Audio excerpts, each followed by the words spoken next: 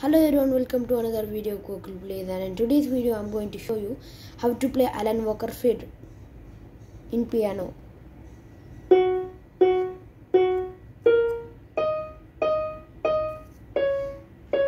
Wait again. Uh, so it's like this: three, two, one.